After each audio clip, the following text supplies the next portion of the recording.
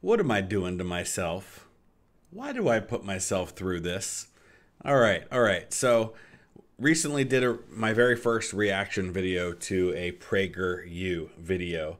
And uh, as expected, it was rather controversial, and the majority of the comments uh, go back and forth between you are being way too generous to Candace Owens and to PragerU, and you're an idiot why are you so hard on PragerU and Candace Owens?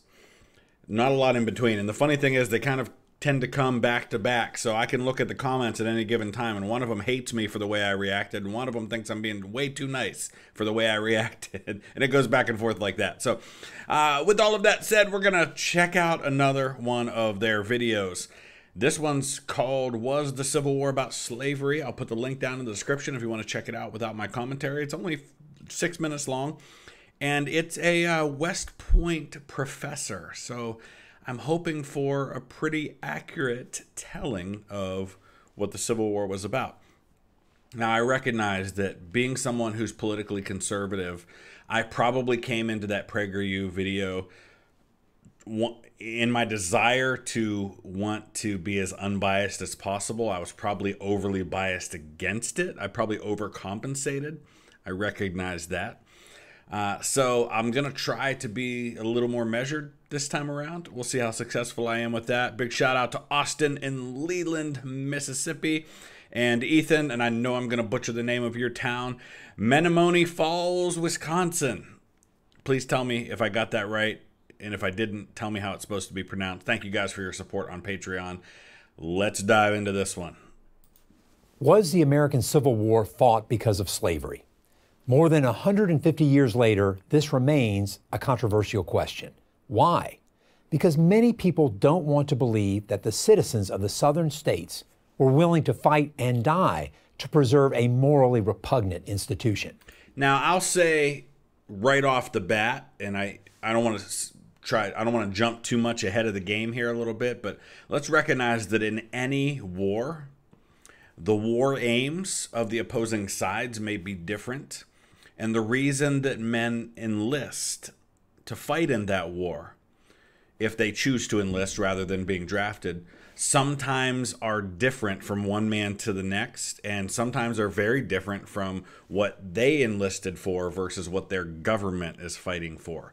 So I think a lot of times the controversy comes in because we are looking at what individual soldiers did or what one side did versus what the other one did. There has to be another reason, we are told. Well, there isn't. The evidence is clear and overwhelming. Slavery was, by a wide margin, the single most important cause of the Civil War for both yes. sides. Before the presidential election of 1860, a South Carolina newspaper warned that the issue before the country was the extinction of slavery and called on all. And, and why did they think that? Because a lot of people ask that question why did South Carolina begin this process of the Deep South or the Cotton States seceding if Abraham Lincoln was very clear in running for president that he was not in, interested in abolishing slavery? Well, he just knew he didn't have that authority and he knew that wasn't going to happen.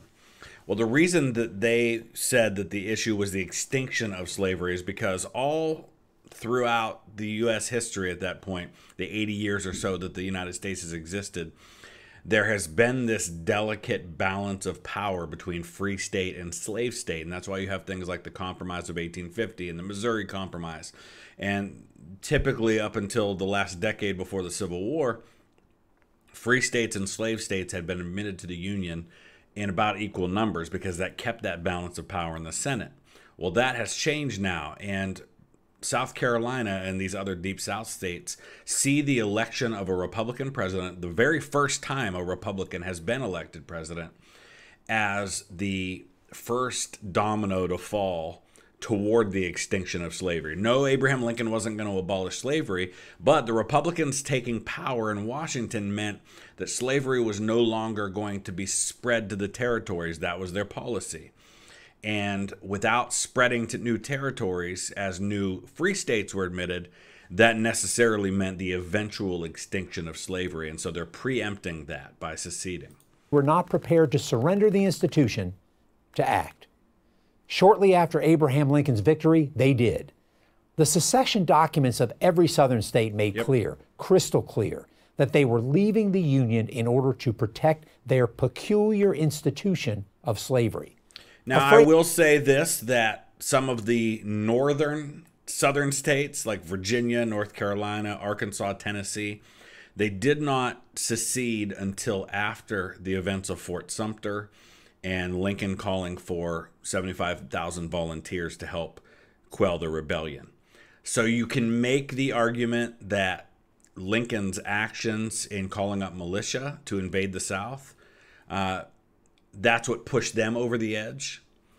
But that doesn't mean that slavery wasn't a factor for them as well. Phrase that at the time meant the thing special to them. The vote to secede was 169 to 0 in South Carolina, 166 to 7 in Texas, 84 to 15 in Mississippi. In no southern state was the vote close. Alexander Stephens of Georgia, the Confederacy's vice president, clearly articulated the views of the South in March. And he was elected to the U.S. Congress after the Civil War was over.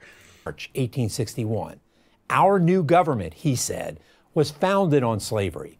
Its foundations are laid, its cornerstone rests upon the great truth that the Negro is not equal to the white man, that slavery, submission to the superior race, is his natural and normal condition. And this is what's known as the cornerstone speech. And this is usually the first place people point to when they're talking about this. And again, I want to reiterate that I think part of the issue here is the argument of why was the war fought versus why did these states secede. There is no argument about why these states seceded, uh, especially the Deep South, South Carolina, Florida, Texas, Mississippi, Alabama, Georgia. Uh, these states absolutely 100% seceded because of the issue of slavery. There is no debate about that. The debate comes in about why was the war fought. Yet, despite the evidence, many continue to argue that other factors superseded slavery as the cause of the Civil War.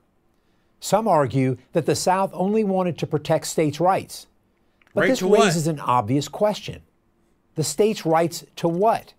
Wasn't it to maintain and spread slavery? And all of their secession documents say exactly that. They will make the states' rights argument, but they make it in the context of slavery. And they specifically say that slavery is the constitutional issue at play. Moreover, states' rights was not an exclusive Southern issue. All the states, North and South, sought to protect their rights. Sometimes they petitioned the federal government. Sometimes they quarrel with each other. Now, part of this goes back to the foundation of the country, right? Uh, in the early days of the country, when we're operating under the Articles of Confederation, which was a much looser connection, it was really basically that the state was sovereign and that they were kind of in this loose confederation, this kind of almost like an alliance type of thing with a very weak central government above them. Well, a lot of people recognized this wasn't working, so they passed the Constitution to make a much stronger central government. People forget that. People love to argue that uh, being for the Constitution means you're for states' rights. Well, the, the Constitution was passed to to make a stronger central government, and most of the opposition to that was in the South, in particular in places like Virginia. And so, from the very beginning, there had always been a divide between North and South when it came to how much power should the federal government have versus how much power should the states have. And I think part of that too is not only because of the slavery issue, but also because of just factors of immigration. Uh, South is very heavily settled by Scots Irish. Uh, folks, and, and, that's true to this day. If you have roots in the South, you tend, especially in like Virginia, North Carolina, Tennessee, Kentucky, you're gonna have pretty strong Scots Irish roots. Um, and that idea of Scots Irish is one I've talked about in other times. I won't get into it again, but uh, so they tended to be much more about local and state freedom than strong central government because the Scottish and the Irish had seen what happened when there was a strong government in London that kind of lorded itself over Scotland and Ireland. Uh, so they brought that with them to America. In fact, Mississippians complained that New York had too strong a concept of states' rights because it would not allow Delta planters to bring their slaves to Manhattan. The South was preoccupied. So even then, their argument about states' rights, whether for or against, came down to the issue of slavery. They were perfectly fine in arguing against states' rights when it came to a state's right to oppose their freedom when it came to their slaves, right? Same thing's true with the fugitive slave laws. Uh, you know, if Ohio said, we are declaring that if a escaped enslaved person makes it into Ohio, that we're going to protect their right to freedom. The southern states would say, no, you need to give us the right to come in and get our property back. Well, that was opposing the state's rights of Ohio to do that. with states' rights because it was preoccupied first and foremost with retaining slavery. 100%. Some argue that the cause of the war was economic. The North was industrial and the South agrarian. And so the two lived in such economically different societies that they could no longer stay together. Let's acknowledge right here that while slavery was exclusive to the South at this point, although we should argue that we should be reminded here that Missouri, Kentucky, Maryland, Delaware all have legal slavery but remained in the Union. Um, the North did benefit from the institution of slavery. Uh, the cheap labor costs, really very little labor costs, just feeding and housing, um, in order to produce things like cotton, benefited textile mills in the North a great deal. So the entire country did benefit from the institution of slavery. Not true. In the middle of the 19th century, both North and South were agrarian societies. In fact, the North produced far more food crops than did the South. But northern That's true farmers because had to the South produced cash crops primarily, cotton, tobacco. These aren't food; these are crops that translate into money. pay their farm hands, who were free to come and go as they pleased, while Southern plantation owners exploited slaves over whom they had total control. And it wasn't just plantation owners who supported slavery. The slave society was embraced by all classes in the South. The rich had multiple motivations for wanting to maintain slavery, but so did the poor, non slaveholding whites. The peculiar institution ensured that they did not fall to the bottom rung of the social ladder. And it also meant that there wasn't competition for jobs. And that was something that was an issue in the North as well. There were people in the North who were morally opposed to slavery, but still weren't abolitionists. And some of them, in part, because they saw uh, 4 million newly freed black men and women as a threat to their society, as a threat to their jobs. They would bring in cheap labor, things like that. A lot of the same arguments that, that some people will make against uh, immigration today uh, is that they're competing for American jobs, that kind of thing. That's why another argument that the Civil War couldn't have been about slavery because so few people owned slaves has little merit. Finally, many have argued that President Abraham Lincoln fought the war to keep the Union together. He did. Not to end slavery. He 100% did. That was true at the outset of the war. But he did so with the clear knowledge that keeping the Union together meant either spreading slavery to all the states, an unacceptable solution, or vanquishing it altogether. Yeah, he he quotes Jesus when he says, "A house divided against itself cannot stand." That comes from the Bible, um, and he goes on to say that either we will become all one thing or all the other. We cannot forever remain half slave and half free. He recognized that. He knew it had to change at some point. and I, I truly believe that had Lincoln just had the dictatorial power to with a swipe of his pen eliminate slavery forever he would have done it in a heartbeat from the beginning but he was a political pragmatist and he realized he didn't have the authority or the ability to do that but war changes things and as the war progressed the elimination of slavery became a war aim. He recognized, listen, we we've seen hundreds of thousands of deaths. It has to be we have to take advantage of this, right? And this is an opportunity to eliminate slavery, to deal with it once and for all. And so once that opportunity presented itself, he did do it. But yes, at the beginning of the war, his clearly stated war aim was preservation of the Union, not slavery. And a lot of people will quote a letter he wrote, I think, I think it was to Horace Greeley, uh, where he, it was a private letter. It wasn't something he gave in a speech or anything like that, where he said, if I could uh, restore the Union by freeing none of the slaves, I would do it. If I could res- restore it by freeing some and leaving others in bondage, I would do that. If I can restore it by re- freeing all the slaves, I would do that. My, my goal is the preservation of the Union. In a famous campaign speech in 1858, Lincoln said, A house divided against itself cannot stand. What was it that divided the country? It was slavery and only slavery. He continued, I believe this government yep. cannot endure permanently half slave and half free. It will become all one thing or all the other. Lincoln's view never changed, and as the war progressed, the moral component, ending slavery, became more and more yep. fixed in his mind. Yep. His Emancipation Proclamation in 1863 turned that into law. Slavery kind of turned it into law. And I don't want to get too deep into this because we've talked about this before in other videos.